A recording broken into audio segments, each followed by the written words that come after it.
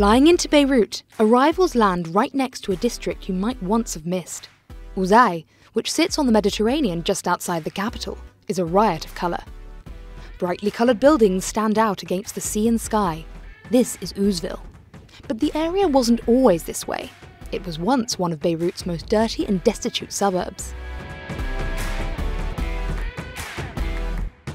The area had no lights here, no paving on the roads. The garbage was never collected.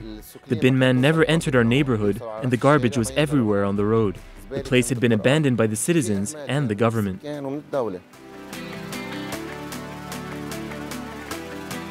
Creator Ayad Nasser and his team saw that too many areas of their beloved home country had fallen into disrepair and crime since the end of the Civil War.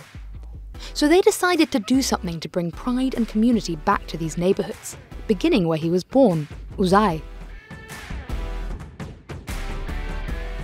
At first, the locals were afraid. The colors were very strong red, green, yellow, pink. They didn't like it. They said we don't want it. At the beginning, nobody helped us. We did it alone.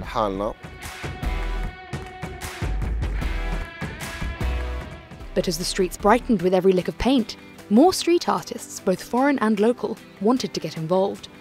Mural artist Marie-Jo Ayoub brings students to paint here from Beirut's elite Académie Libanaise de Beaux-Arts. It's a place they'd never usually visit and would once have feared.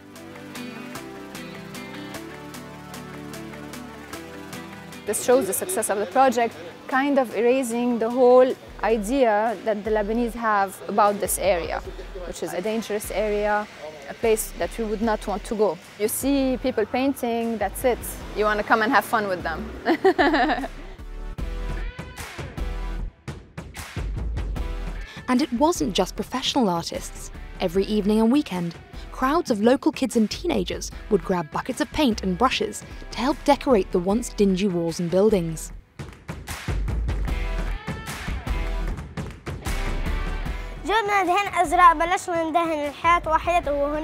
We brought blue paint and we began to paint the walls over there and we drew, what's it called? Over there, the bottle and the fish. Ouzai before it was abandoned and now it is renovated.